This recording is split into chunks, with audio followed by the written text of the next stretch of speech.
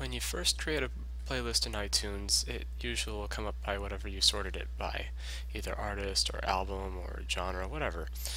Uh, but when you try to rearrange things in the order you want, it won't move. It just snaps back to its original location.